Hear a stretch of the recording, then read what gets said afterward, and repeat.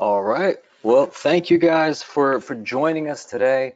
Uh, this webinar is actually it's brand new and it's near and dear to my heart. But we're going to talk about four productivity hacks for law firm owners, essentially how to expand not only your capacity, but increase the revenue uh, of your firm without taking up more of your own time. Because uh, this is a topic that I think as, as any business grows, you know, one of the biggest barriers and limitations sometimes becomes the capacity of your own firm or, or your own capacity to kind of expand it and take it to that next level. So we'll be kind of talking about a few things that you can do to, that can help expand not just your own capacity, but the capacity of your firm as well to uh, ultimately grow and increase revenue in the process.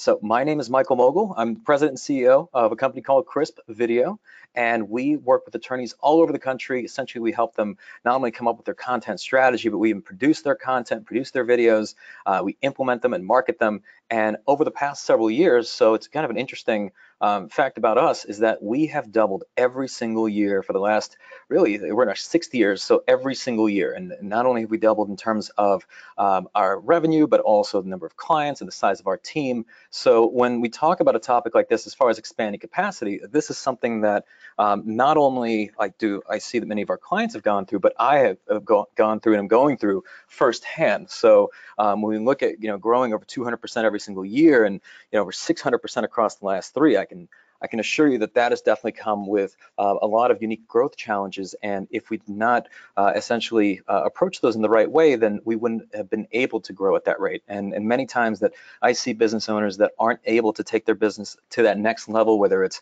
you know a seven-figure mark or, or what have you, just because of um, of their own capacity. So we'll talk about a lot of the things that have been very helpful to me. I mean, I think that this webinar, oftentimes we talk about marketing and different marketing strategies and content strategies. Um, this one in particular, I think, is really unique in the sense that it really talks about how you spend your time, ways to be more efficient, and ultimately like I think at the end of the day, you can have two like-minded business owners, but um, one spends their time in a different way versus another, and that ultimately determines uh, not only how quickly their business grows, but ultimately to the level at which their business grows.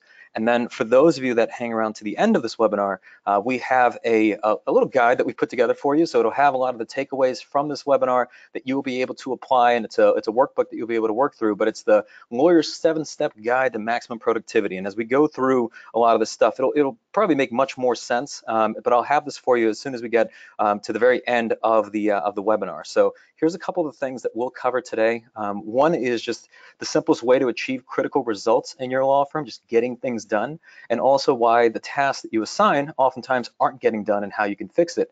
Uh, in addition to that, we'll talk about identifying areas where you can streamline across your practice, as well as strategies to systemize and automate manual tasks and then the one thing you can do every day to make yourself more productive. Now, uh, undoubtedly, I'm sure some of the things that we'll talk about, uh, I'm sure some of you will be familiar with, but if there's even one thing that you pick, pick up from this webinar, I think it can make a dramatic impact in your business. And this, again, I'm, I'm telling you, I think is the biggest difference between um, like various businesses and not just the growth rate that they achieve, but ultimately the scale at which they grow. So uh, before we get into that, I do want to touch on this just because, you know, what is kind of the the reason why we're talking about yielding maximum capacity. And Law Tigers had put out the study. They had uh, uh, they asked you know, thousands of attorneys, and they asked them, well, what's keeping them up at night? Uh, a large majority were saying that they spend too much time working, they don't get enough free time, uh, their firm is fluctuating in month-to-month fee revenue, or their marketing doesn't generate enough new business and new leads, or the firm's not generating fees at the rate that they desire. And then, of course, the, the common, I think, fears of any business owner is that the fear that uh, any time in the future, the cases will stop coming in, the show will be over, um, and so on. So this is obviously on, on the mind of many, many law firm owners and many firms. Um, it's, again, it's very, very stressful, and, and growing a business isn't easy. So as we talk about this, I think this is a topic that's near and dear to, to really most business owners, and they're simply looking for ways in which they can get more done in the time that they have, which is we all have the same 24 hours ultimately, right? So uh, I do want to say that uh, we'll uh, we'll likely share a copy of these slides. Just email us, um, and we'll have that for you. So as we move quickly, because I know we've got a lot of different things to cover. If um, if you end up missing something, just shoot us an email. We're happy to send you a copy as well. And then of course we'll have that workbook at the end of the webinar as well. So to evaluate your firm's capacity, uh, just think about a few of these questions, right? Um, and think about how many of them that you can actually answer yes to, right? Is your phone ringing off the hook with cases you want to accept but can't because you don't have the bandwidth? Is your team overworked with your existing caseload? Uh, is your staff spread thinly across multiple roles, uh, to, so much to the point where they can't focus on any one initiative? And are cases taking longer to resolve than you'd like for them to? And ultimately, do you think you'd be able to take on more profitable cases if you implemented more efficient management strategies? So this speaks to the firm's capacity. Now, what about these questions, right? Do you spend so much time working in your business, so being in the details that you can't really work on the on the business. So more um, higher level like business strategy. Um, also, do you find yourself spending a lot of time on tasks that you just really hate doing that just suck you know the energy out of you essentially? Um, and is there somebody else in your office who could complete this task that you hate? So uh, we often find that what one person, you know, I guess one man's trash, another man's treasure. Um, and there are people that really out there, I'm telling you, whether they're in your office or you haven't hired them yet, for example, that there are people that love to do the things that you hate to do, right? And I'm sure that there are things that you love to do that somebody else, you know, it, that may not be their strength.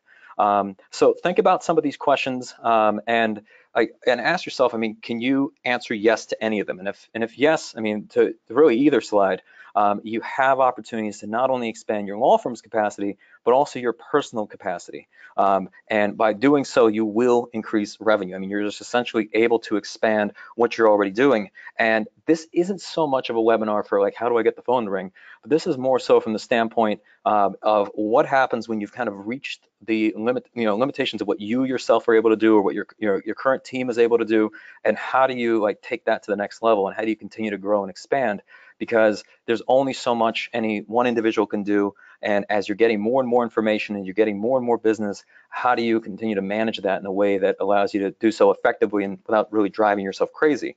So this brings us to a concept called capacity utilization. And this is really the economics of productivity, and it's the relationship between productivity and capacity because um, there's, you know, it's not always linear, meaning that um, sometimes you have a lot of things on your plate, but it doesn't mean that you're approaching them as efficiently and effectively as you could be. It doesn't always mean that you need to hire more people. Um, sometimes it means that you can simply take on um, more, you know, essentially more initiatives, more clients, more cases uh, by simply changing the way in which you operate, your team operates through systems and processes, which we'll talk about, um, and even from uh, how you manage your time and what you focus on. And my, my, good friend Ben Glass, um, he has this quote, I think it was actually in uh, one of his recent books, and he says that, yep, you know, damn right we're running a business first. Without a business, there's no profession to do. So um, this is one that I'm sure will probably uh, offend a, a, percentage of people in, in talking about the practice of law. Is it a business or is it a profession? But Ben is absolutely right. And, and I'll, I'll speak from experience in that we work with hundreds of law firms that if you're not running a, I guess, a profitable business, if it's something where uh, if you're not able to take care of your team, take care of really yourself and your family, then you're not really providing, you know, in many cases we find that if you're exhausted and you're not taking care of anybody, then the quality of the legal representation that you offer is probably not what, you know, not only not what you're necessarily capable of, but also um, it's probably falling short and the experience that you're offering clients probably isn't a very good one. And then in addition to this, uh, it really doesn't matter how good you are at practicing law if you're invisible to your community, if they don't know that you exist, if you can't, you know, if, if they ultimately don't know how they can um, how they can hire you, where they can find you, how they can reach out, because um, there's a lot of just phenomenal, phenomenal attorneys out there that are truly, I think, would uh, would be in, in their clients' best interest. But unfortunately, they get overshadowed by the fact that there's a lot of great marketers and a lot of really great business owners out there that are doing a good job of capturing their attention first. So again, the reality is uh, at this point, I think just given the nature of how competitive things are within the legal profession and how saturated the, mar uh, the markets are, you have uh, at, this point a duty and an obligation to position yourself in the way in which consumers out there can find you and hire you. Um, and also, in addition, uh, when you think about some of the mottos for running a successful business, and, and this this can go against uh, I think some of the things that are are taught in school and that you know you're you're providing this amazing public service for the good of the people but you can't pour from an empty cup, you know, and, and the reality is that um, if you are struggling, if you're struggling financially, if you're exhausted, if you're running on empty, if your team is running on empty, that all then uh, kind of impacts the way in which clients are treated, the, the way in which clients experiences, the quality of the, of the representation that you provide. Um, so it's really important that you put on your own oxygen mask first before you can really help others. Again, it's um, it's very very difficult, if not impossible, to pour from an empty cup. And we find that you know, in, in, when you've got a successful business that is working for you and you've got a team that's aligned and you've got a phenomenal culture, not only is it much more enjoyable to come in every single day, but also the impact that you're making in your community is much greater. Uh, it's a much more happy, positive environment, and, and as a result, it's a very like fast-growing environment. So if I look across the hundreds of law firms that we work on, uh, that we work with, the ones that are growing the quickest are also the ones that really do have things dialed in in terms of like how they run their business, how they like you know their their company culture, their systems, their processes, and all those things, and they're able to be better attorneys as a result. So the other reason is, um, you know, and as I've mentioned, is that when you run your law firm like a successful business, you will inevitably be able to provide more value to your clients and potential clients. So, for example, part of running a good business is offering an amazing client experience and amazing customer service, um, being responsive, being prompt, all those things. Um, not only are they you know, again, good things to have, but they're also business decisions. So, for example, if you could offer terrible uh, customer service and client experience and still have a thriving, successful business, um, well, you know, then then I'm sure that you could do that. But the market always decides, and the market has decided that they um, they really value attorneys and law firms that are prompt, that are responsive, that um, that you know when you when you call their firm, they answer the phone promptly. It's someone who they're happy to speak with, that is informed. So all those things and getting those details right is very important, um, and that's what the market is really asking for. And and and again, the world needs more good attorneys. So uh, if you want to be out there helping more people and, and making a greater impact in your community, uh, the the more that you're able to grow and scale your business, the more that you're able to impact your community. So um, at the end of the day, it's important to take care of things internally first, and that way you can make a much greater external impact. So the reality is this though, um, and here is the challenge that we commonly see. Uh, most attorneys went to school um, to learn how to lawyer and how to excel in the practice of law, but they don't really train uh, the, the business of law or how to acquire cases or how to market or how to position yourself. So if you want to grow your law firm and truly expand your capacity and make a greater impact, you're going to have to be able to run it like a business and grow and scale it. And, and I'll talk about uh, four, I guess, productivity hacks that have been really uh, impactful, not just on me, but uh, hundreds of our clients as well. And uh, if, again, if you even take away one of them, um, I'm confident that they will be a game changer in your practice. And I'm not saying that as hyperbole. I truly believe that these things are, I think, I think largely the reason why we have grown 200% every single year for the last five years. So the first one is prioritization, right? So I'm sure we all uh, are familiar with prioritization to a degree, but uh, it's important to consider something that's called the Pareto principle. So in 1906, uh, Italian economist Vilfredo Pareto, he noticed a pattern of uneven distribution in his life. And he found that about 20% of the plants in his garden produced 80% of the healthy crops. And he began to actually extrapolate this pattern and found that it actually uh, was uh, applied to many other areas of his life. So for example, he found that like the 20% of the population in Italy owned 80% of land and 20% of the companies in Italy accounted for 80% of the production. So the general idea, the Pareto principle, is that 20% of your time produces 80% of your results. And this is I mean, this could not be more true. I mean, you'll see it pretty much across anything, right? So like, for example, 20% of your marketing probably produces 80% of the impact. 20% um, of your clients probably are um, the ones that generate like 80% of the revenue. And if you can identify which 20% achieves the best results, you can maximize your effort and productivity.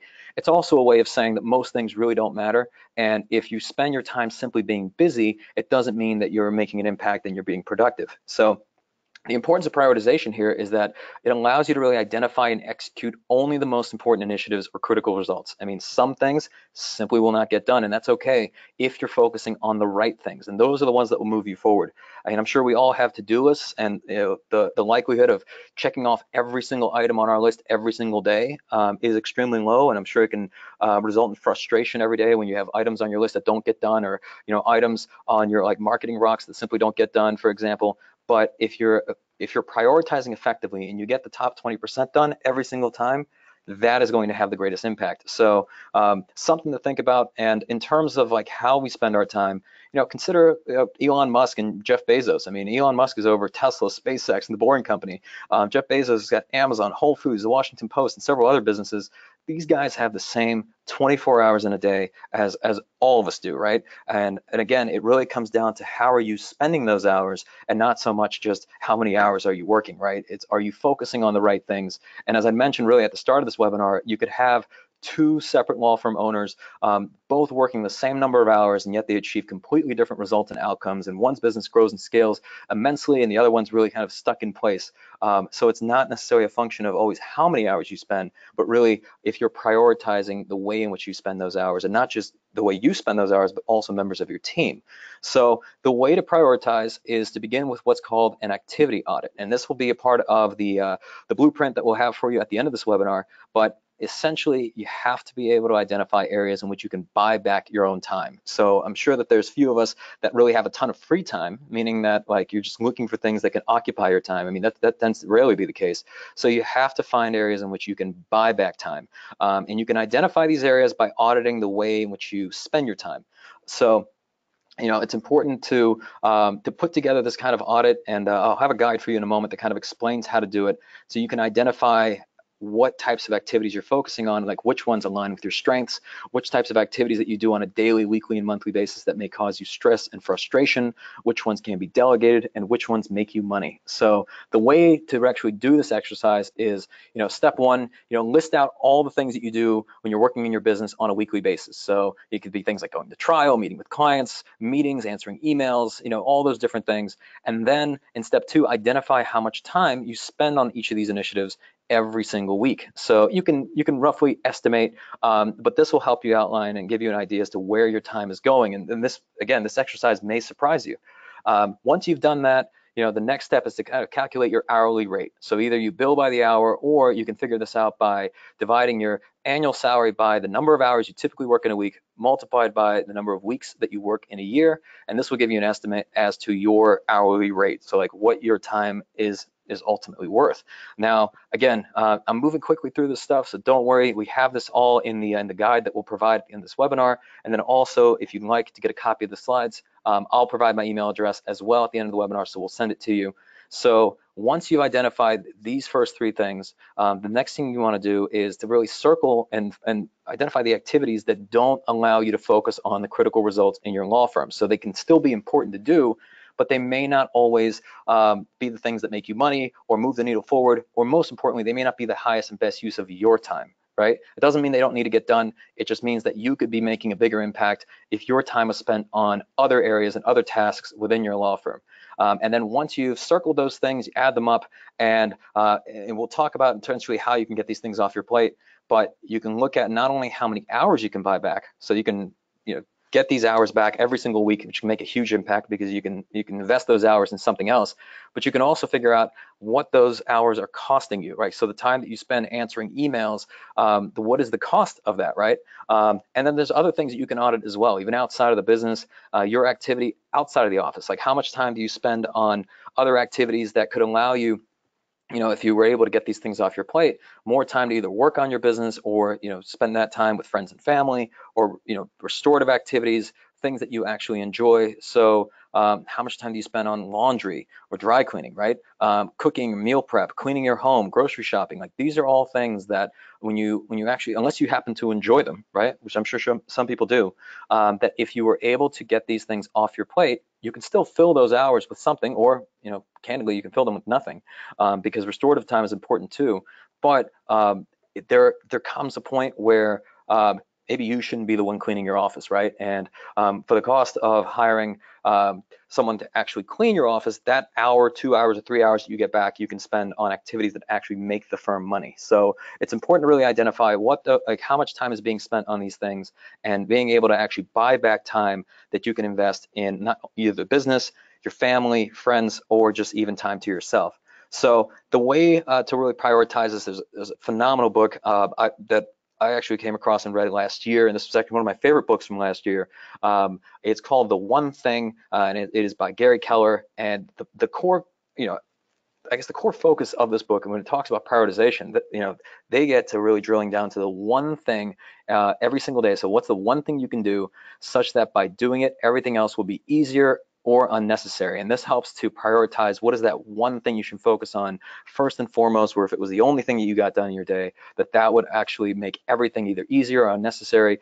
And by combining your purpose, priority, and productivity, your one thing, this like focusing on this and getting this done first before anything else will help you get extraordinary results. So you can buy the book on Amazon if you're interested. It's a great book.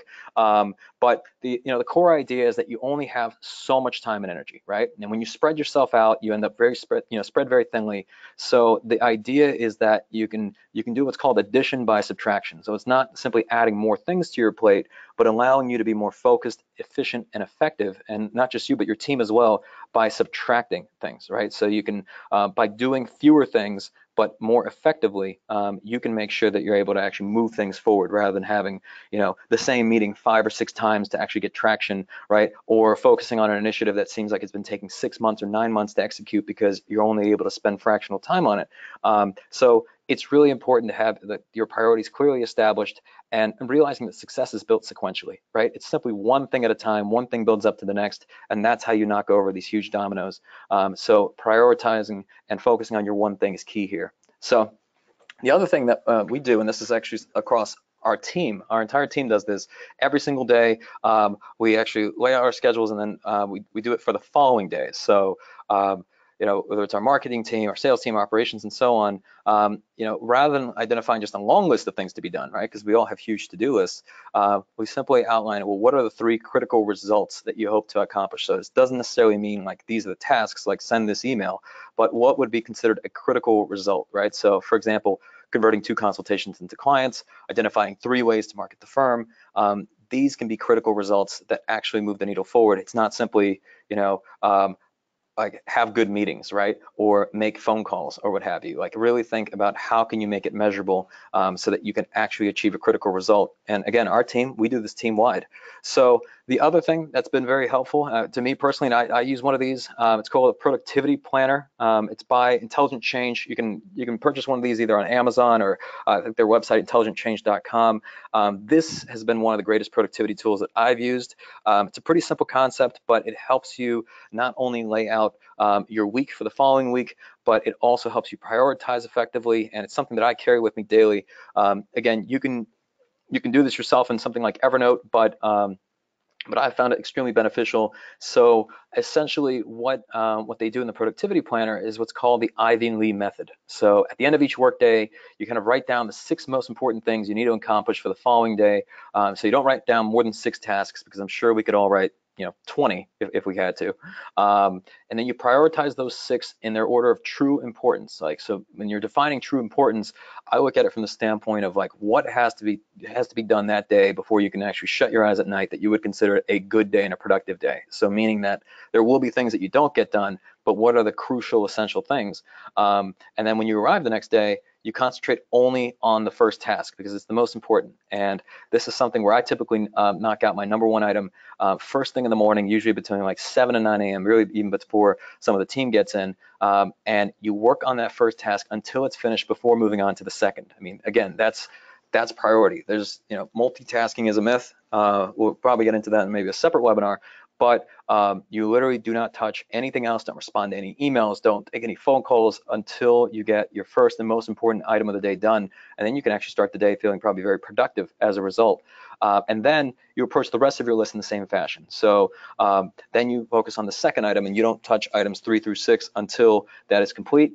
And at the end of the day, you move any unfinished, unfinished items to a new list of six tasks and repeat this process every working day. So I essentially fill this out at the end of each workday for the following day. And with the productivity planner, you actually can also kind of map out the week, and uh, and this will give you really good insight in terms of like how you're investing your time, and and ultimately you can even look back and see um, kind of the lessons learned and ways in which you can be more effective and more productive. Now, there's other things that you can do in terms of auditing your time and the, the, time in which, you know, how your team spends their time. There's a couple of apps. One's called RescueTime. The other one's called Time Doctor that run in the background of, you know, on your computer. And this will help calculate, you know, how much time you're spending in email, how much time you're spending browsing the web, how much time you're spending on Facebook, um, in, you know, in various like, let's say case management software and so on. And this is really, really helpful to do because there's, you know, there's always a difference, I think, between how we believe we spend our time and then how we actually spend our time. So you may think that, you know, you may only be on Facebook a couple hours a week, but then you pull it up in, uh, in Time Doctor RescueTime and it shows that you're spending 25 or 30 hours a week on Facebook. So these are amazing opportunities to just kind of not only gain like a greater sense of awareness in terms of like how time is spent, but just develop much better habits. So the first step is just having clarity and awareness. So don't worry, you don't have to share this with anyone. You can you can do it just for yourself and on your own computer. There's no judgment here. Um, so this has also been very very helpful. And then there's another technique uh, that I want to share in terms of like prioritization and productivity. Um, for those of you that are not familiar with the Pomodoro technique, so in the late 1980s, uh, Francesco Cirillo set out to find a better way to manage his time, and he, he ironically used a uh, tomato-shaped kitchen timer to break up projects that he was working on into 25 minute intervals followed by five minute breaks and called these pomodoros. So um, pomodoro actually means tomato in, in Italian. Uh, and this is a great way to like break up tasks, especially when you've got a really daunting like task right in front of you and you don't even know where to start. And sometimes the best way is to simply just start with one 25 minute block followed by a five minute break and it just gets you going. Um, and there's a lot of free apps for this um, for your phone, um, even online. And there's even a book, uh, it's called the Pomodoro Technique you can check out. But the general idea is pretty simple. I don't know that you need necessarily read a book to, uh, to learn about how to break up time into 25 minute chunks followed by five minute breaks. But it's a great way to build on productivity and actually start to build momentum. So you can start looking at your tasks like, okay, so that task is two Pomodoros. So meaning, let's say it's like an hour task um, so you break it up into two 25 minute chunks followed by, you know, after each 25 minute chunk, it's a five minute break. Um, and that's a great way to just break up really big tasks and get started and start being productive. So a couple other ways to protect time. Um, and these are the things that I've personally found helpful. And then when, when I reached out to many of our clients, things that they said they were very helpful. Uh, one is to never take unscheduled calls or meetings. Uh, now, I know that there might be some initial resistance to this, so there are emergencies at times. So you always want to make sure that there's at least one way to get in touch with you, whether it's through your assistant or someone in your office that like someone can get a hold of um, if there is an emergency. But um, if you're constantly taking random calls and meetings and things like that, you're going to lunches and all sorts of stuff, you'll find that your time really gets away from you, and those distractions make it um, very difficult to sometimes refocus your attention. The other one is to devote specific time blocks to uh, employee and team member questions or check-ins. So this is the common like got a minute kind of um, situation where you know team members are asking for help or they have a question. I have found that when I can set up kind of a, an open office hour, whether it's at the end of the day, let's say it's like 5 or 6 or 6 to 7 p.m. or something like that, that um, is available and open to anyone who may have questions. In the past, let's say two years that I've been doing this, I have yet to have somebody uh, ask a question during that time. And, and, the reason being is that if that is the time you've set out um, to allow those types of questions, many times um, you will find that your team members solve those challenges and problems and stucks that they have on their own and uh, it never gets to you. So it's just important to devote specific time blocks um, so you are available, but it doesn't mean that you're always available because we're trying to protect your time. Um, and then sign out of a chat, email, whatever's distracting you, put your phone on airplane mode if you have to. Um, definitely sign out of like any kind of social media. Uh, I've disabled like notifications on my phone and like pop-ups, um, you know, things like that that can just be consistent distractions to really allow you to focus on the task at hand.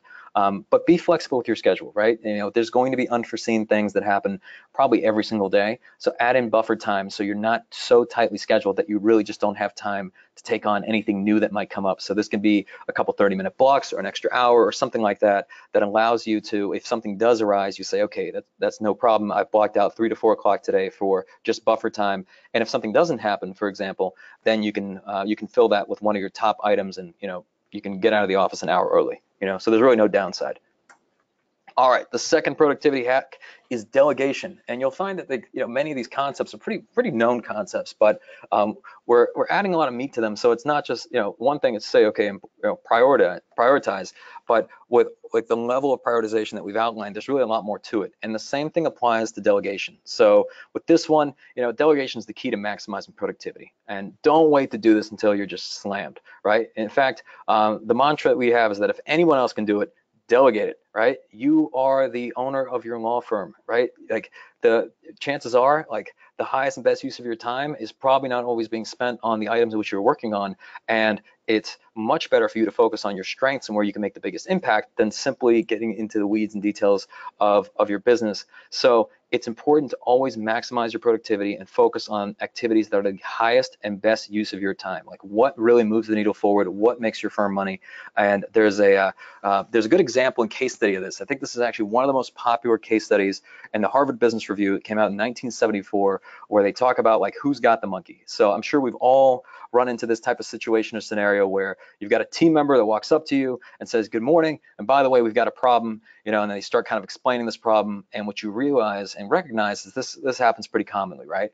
Um, so they brought something to your attention that you know enough about to get involved, but not enough to make an on-the-spot decision. So what happens is is that you're on your way, let's say to either another meeting or a call to court, and so you say something along the lines of, "Thank you for um, for letting me know but I'm on my way to, to court or I'm on my way to a meeting. Let me think about it. I'll let you know. And then the two of you part ways. So now the question remains, like, who's accountable for solving the problem, right? Uh, you or your team member. And in this type of situation, you've got this proverbial monkey, right? So this is the, the problem, the challenge, whatever it is, has leaped off your team member and onto your back. And what you really need to do here to avoid um, essentially becoming the firefighter of your law firm and ultimately like bearing all of the burden and everybody's problems um, is you need to find a way to either give it back to your subordinate and make sure that they keep it, right? So delegation really involves two things, right?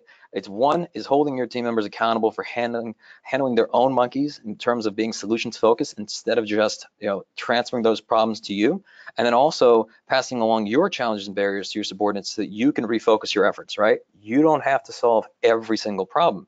Um, so it's interesting in this Harvard Business Review study, they kind of outline this uh, in, in several ways, right? They say, here's kind of the care and feeding of monkeys, which are really just these problems and tasks that can get offloaded from one of your team members onto you. So uh, one is that monkeys should be fed or shot, meaning that you either handle it, handle it or nix it um, but you don't want to have too many open loops to where you've got like uh, 200 things that you've got to handle that you just haven't gotten around to handling um, because at that point it just you know it sucks the energy out of you and these things just go into limbo.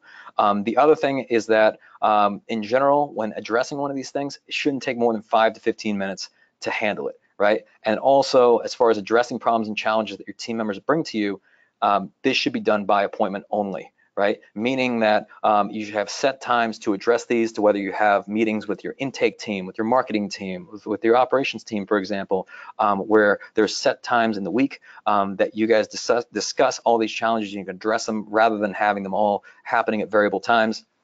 And then another one, this is key, and this is something that we do in our own business, and I do this with my team members, is that when we're discussing a problem or challenge like this, this is done in like the solutions are resolved face to face or over the phone, right? Not through email. Now, it's not to say that like having documentation and, and going back and forth through emails can't like can't help, but at that point you've got an inbox that's slammed and then you're you know you're having to follow up on emails and ask you know if did you get a response to something it's better if it's just addressed at set times and this is the way that um, we've made it a policy as far as bringing um, pain points or challenges to me so like we handle it face to face and that way my inbox does not get just slammed right um, and then with any type of challenge or task like this um, at, you know after each meeting either there's a time that's sent um, like that's set to discuss the next steps. So we never just part ways and say, all right, you know, do this. There should always be whatever the next action item is. So to report back on uh, what was the outcome of that, or if there's going to be a follow-up meeting, when is that meeting, and then the uh, degree of the initiative as far as the priority, right? So it's important that you communicate the priority of things to your team members because if everything is urgent, then nothing is urgent, right? Um, and then people become desensitized and numb to all the different initiatives that you've got going on in your business to where when you've got something that's truly important and should be prioritized, they look at it as everything else, and it's again everything has been urgent. So um, it's important that you like define the degree of that initiative. Sometimes I'll say like, look, here's what we've got to do, but honestly, this thing is actually not that that that important. It's it's probably a very low priority item. So let's just have it done within the next two weeks, for example, as opposed to this has got to get done today in the next hour. And then finally, as far as delegation, when is it time to hire, right? Because you can't get around this as far as expanding capacity. There's things that you can do as far as like, you know, uh, it, making your productivity uh, just much more effective and efficient in the productivity of your team. But consider running a firm um, that's lean or even a solo, uh, you know, a solo law firm, but when it's at capacity, it could be like running a marathon without proper training and nutrition, right? So meaning that you may not finish the race, nor are you going to perform at the top of your game, but you can really get ahead by expanding not just your capabilities, um, but the capabilities of your team by hiring additional team members. So this really allows you um, and expanding your team allows you not only to increase bandwidth and not just yours, but other team members, but taking on additional cases, increasing revenue, um, focusing your efforts on like just your strengths, right? So, so strategy, how do we really move things forward? And most importantly, increasing your capacity. But hiring sometimes, I think it's, uh, you know, it's it could be approached as, uh, as kind of a taboo topic in that, you know, how am I going to hire all these people? They're so expensive and all those things. But you know, you really shouldn't look at hiring team members as investments to be maximized and not necessarily costs to be minimized, right? I get it. Payroll is a, is a, is a heavy expense for any business, but if you do it right, when you're hiring people and team members, those people allow you to expand your capacity so they're making an impact and adding value as opposed to simply just collecting paychecks. So when you look at things as a cost, and this can really be anything, right? Not just team members, but also various initiatives and things that you invest money in. Um, as a cost, you look at things that need to be minimized or avoided. You've got to control the ex expenditure of resources. There's a low likelihood of return with little value added, and there's a little perceived control over the outcome, right? Whereas an investment, this allows you when you invest in an amazing team member that frees up your time, that allows you to focus on things that really make you make you money and are the highest and best use of your time. That allows your firm to grow. In addition, um, when you can allow your like your team to be able to focus on more initiatives and where they're not spread too thinly to the point where nothing's really getting done, um, that allows you to provide higher returns as well. And you've got a high degree of control from the standpoint that if someone's not adding value, and let's say you've trained them, you've onboarded them, you've provided them with the support, and they're simply not adding value, I don't know of any business owner that you know that pays their you know 26 weeks of salary uh, or 26 payrolls, excuse me, um, all up front. You know, so we're not paying anyone's salary up front. So if someone's not being effective, um, either you meet with them and figure out what those stucks are, or ultimately you can free up their future and find somebody who can help add value to your business. So um, again, hiring is very much an investment, and if you look at it simply like a cost, uh, it simply may mean that you either may have not found the right person for that role yet, or uh, it's just time for a mindset check in that you know the it, hiring additional people like we would not be where we are today without the phenomenal team members that we have. I mean they're the reason why our growth rate has been what it is. Um, so i highly advocate approaching hiring as very much as an investment. Now in terms of outsourcing because this is one that's um, also quite common right? I know that there's you know, for those of us that read like the four hour work week and books like that, we're thinking, okay, well, what are the things that we can outsource? And it, so there's essentially outsourcing is a great way where you can uh, not only make things more efficient but reduce costs for certain initiatives. Typically i find that commodities can be outsourced but there's things that you don't want to outsource right? So you want to make sure that there's a certain degree in, of quality and accuracy and consistency um, so there's things you want to keep in house so for example you can outsource things like data entry bookkeeping and taxes right? Graphic design direct mail transcription even research but you don't ever want to outsource your business strategy, right? Your customer service, um, even things like you know social media, right? Simply making social posts doesn't always move the needle forward. It's important that um, when you're doing things like social media, that that is your your brand's voice, right? Um, and when you're highlighting things going on in your office, like that, that's um, that that's done um, not just for the sake of making the posts, but ultimately is aligned with culture of your firm. Um, also, hiring and firing and company culture. These are things that you generally don't want to outsource because these require a very unique skill set, unique expertise.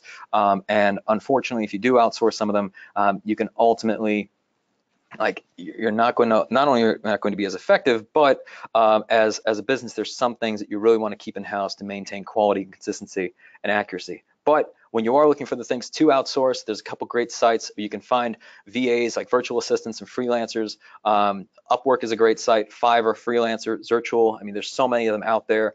Um, it is really important that you provide complete clarity, like um, step-by-step instructions because if you're outsourcing to someone that you're paying $2 an hour, um, it may work fine for things like data entry, but um, that person probably shouldn't be doing your marketing strategy, right?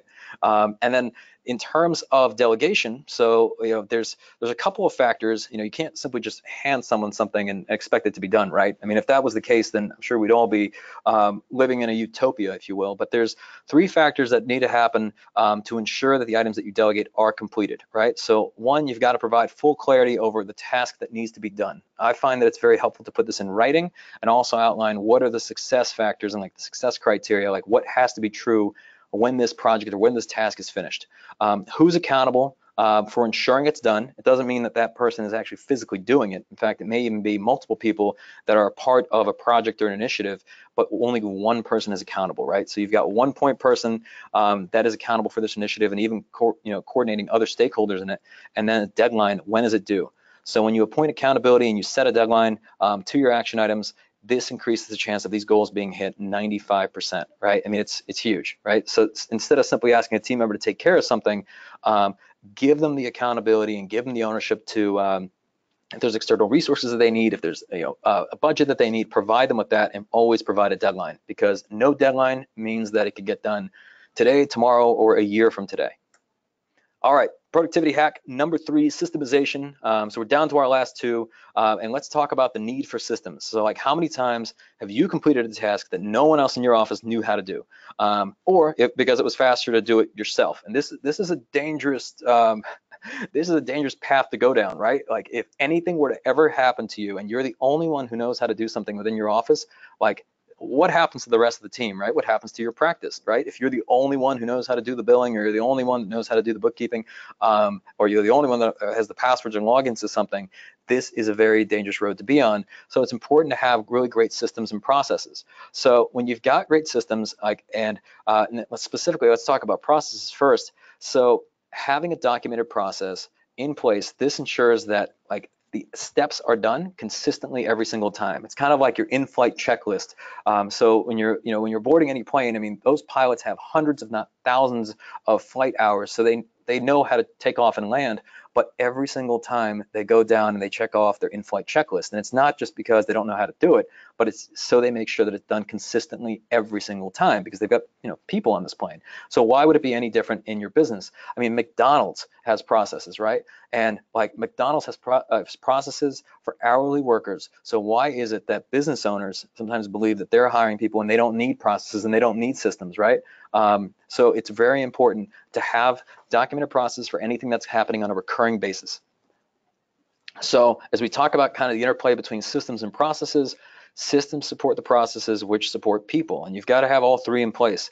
Um, now, sometimes these require maintenance, but um, to give you an idea as to like what should you automate, what should you delegate, what should you do yourself, um, first consider like with every single task that you're doing on a repeating basis, step one, uh, is it something that can be automated to a system? So like email drip campaigns, for example, or e-sign. Um, the other question is, or can I, you know, if it's something that's a manual process, can I delegate this to a person? And then finally, which this should be the rarest of all three, um, do I do it myself, right? So there's something that you may want to do yourself, but you still should have your own processes documented and kind of a system in place to where if you're out of the office, if you're sick, if you're on vacation, that there's a way in which those activities get done. But I find if you stick in the first two as terms of like, can it be automated to a system, or if it's a manual process, um, can I delegate this to a person? Those are the two that you can really help to get things off of your plate. So uh, to give you an idea, when you see breakdowns in processes and systems, um, if you're completing a task manually, like every single time, um, I mean, just as an example, if you're uh, if you instead of having an email drip campaign that you use to follow up with your clients, you are writing every single email or someone on your team is writing every single email to follow up with people, that's something that can be automated and that can free up that person's time. Or if you've got, let's say, a system, but the way in which something's being done is different every single time or it's different across every single person, um, then you really need to make sure that you examine your process to make sure that things are done consistently, right? So for example, if you walk into any Starbucks on the planet, right, um, and you order any kind, any type of cup of coffee, it tastes the same, whether it's in Tokyo, whether it's in California, whether it's in Dallas, um, and that's because they've got a very clear, consistent process and system in place. So when you got system breakdown, for example, um, you may be using like spreadsheets or notepads or post-it notes, right, to um, handle intake and onboard clients. and you can improve that system by switching to like a cloud-based case management system, for example. Or let's say you do have a system, but um, but there's no organizational method established for actually utilizing it. That's where you can improve your processes. So there's several opportunities where um, if you're presently relying on like manual processes or kind of a manual way of doing things, that uh, we saw this happen actually you know, a year ago when they had the uh, um, like the the floods in, in Texas, where like uh, farms that were using just um, print documents and like the print records, and everything got flooded and everything was gone. I mean, that was traumatic to their business. Um, so really think about how you're doing things like client intake, case management, document file management, and even marketing and client relations. So uh, consider leveraging external platforms that you can use to automate, systematize, and organize those processes. Um, here's a few examples. Uh, these are just a few popular platforms like Captorra um, does a phenomenal job for like client intake. Um, FileVine does case management. Dropbox is great for file management as well. QuickBooks, which also has QuickBooks Online, great for bookkeeping. Constant Contact and MailChimp are great for email marketing, and you can even create uh, drip campaigns in those. So there's a lot of platforms available. You just have to, you know, ultimately evaluate and decide which works best for your needs and your firm. But the benefits of systemization are really in the fact that uh, not only does this improve the quality of your client's experience, but it makes sure that your clients have a consistent client experience. So every single day, um, the clients, the calls are handled in a very similar way that it doesn't matter if um, somebody calls on a Tuesday or a Thursday or a 2 p.m. or 5 p.m. that that client has the same experience. It makes you more referable, makes the practice more scalable, it keeps things from slipping through the cracks, um, holds the team accountable, and then even when you've got these processes documented, makes it easier to train new people. So for example, we have somebody new start the company in a certain role, we've got all the processes outlined for that role and we can simply hand them a binder um, that basically says here are all the processes for this role as we're training them and as we're onboarding them and that makes it very easy to make sure that they're onboarded in a very consistent way. But most importantly it frees up your time by letting others handle the things that are not the highest and best use of your time.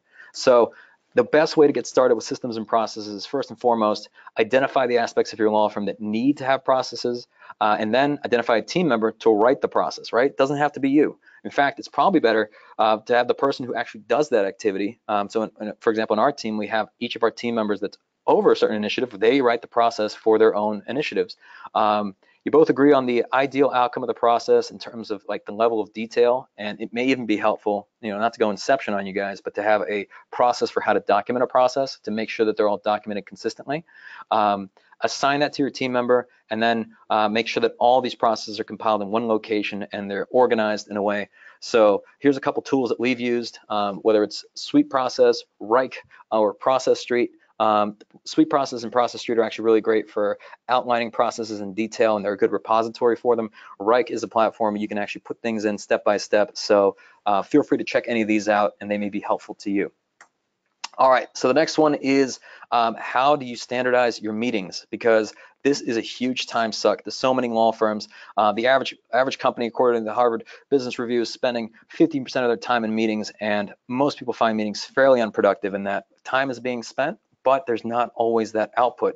In fact, you have to consider how much are your meetings costing you, right? So consider how many people you've got in that meeting, the hourly rate of every meeting participant, and the length of time that that meeting is being held, and you may find that you're having $10,000 meetings, right, about things that are, you know, let's say $500 initiatives, right? So that is probably not the highest and best use of everybody in that room. And our rule is that if somebody is not actually contributing to the meeting and if they're not, uh, you know, somewhat accountable for an initiative that's a component of what we're discussing, they're not in the meeting, right? Um, respect your team members, free up their time. Um, so there's a couple things that you can do to standardize your meetings. Number one, send out an agenda beforehand, and you can even have team members do this when they're asking for meetings with you. No agenda, no meeting, um, keep the meeting short to 30 minutes. Um, set a timer, like we, we always have like a timekeeper when we have multiple items to discuss that we allocate time just to make sure that we don't spend more, you know, all the time talking about one item. Uh, assign one note taker for each meeting. This is typically the person who's accountable for making sure that what's discussed in the meeting gets done. And then um, with action items, always be sure to outline who's accountable, what the initiative is, and what the deadline is. Um, and then you can have very productive meetings. So finally, this brings us to productivity hack number four, automation. Um, and I, you know, I would ask you, have you ever wondered how much time you waste uh, every single week on tasks that could be entirely automated. So uh, you can automate tasks that are recurring uh, using your systems and processes to where it doesn't require like a manual process.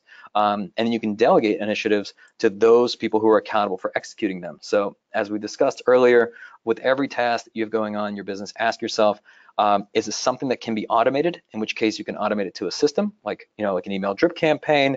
Um, there's certain aspects of case intake and um, and even on the operation side, onboarding clients, things like that. Um, or if it's a manual process, can you delegate this to another person, right? So not you.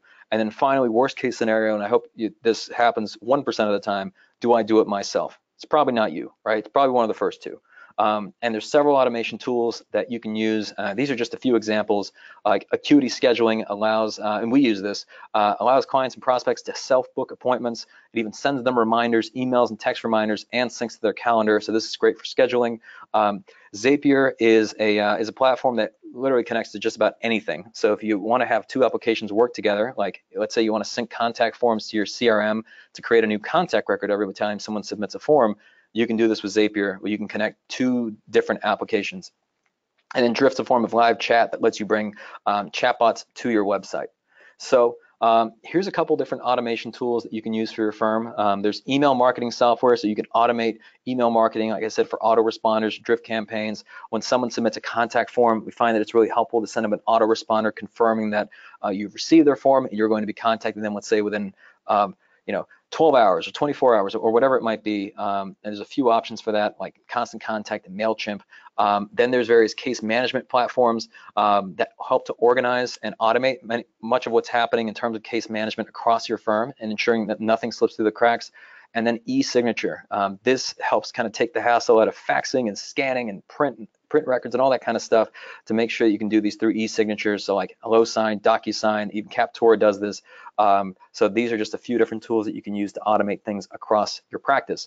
And here's an example of this, right? So imagine you've got somebody visits your website, fills out a contact form. When you've got things automated, this new contact record is automatically created in your CRM.